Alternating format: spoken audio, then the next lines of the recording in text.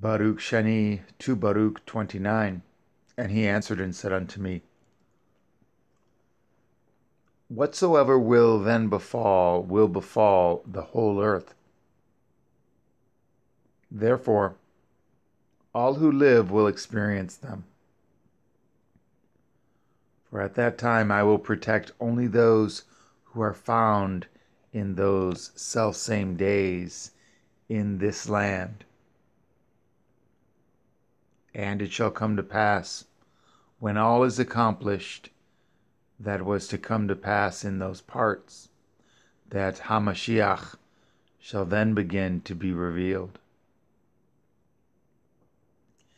And Behemoth shall be revealed from his place, and Leviathan shall ascend from the sea.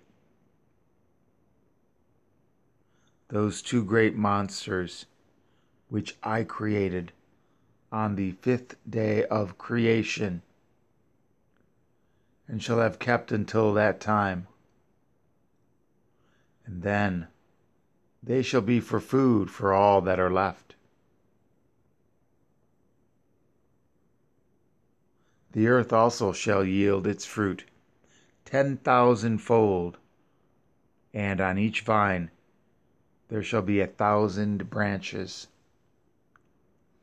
And each branch shall produce a thousand clusters, and each cluster produce a thousand grapes.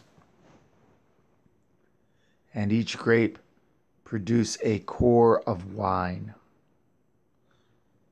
and those who have hungered shall rejoice. Moreover, also, they shall behold marvels every day. For winds shall go forth from before me to bring every morning the fragrance of aromatic fruits, and at the close of the day, clouds distilling the dew of health. And it shall come to pass at that selfsame time that the treasury of manna shall again descend from on high, and they will eat of it in those years, because these are they who have come to the consummation of time.